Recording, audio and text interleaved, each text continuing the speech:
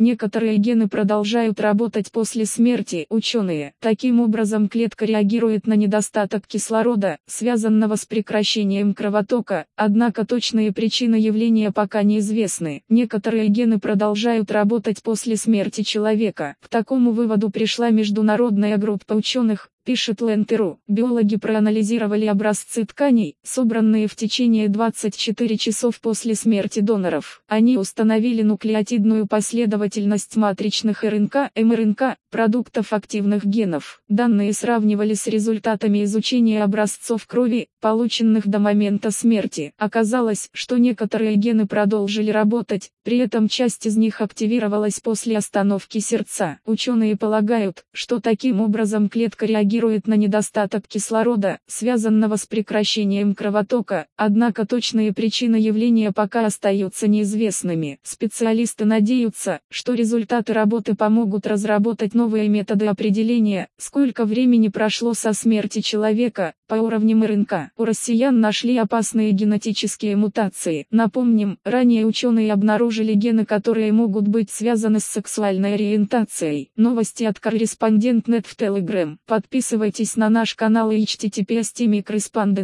По материалам сайта newsgra.com.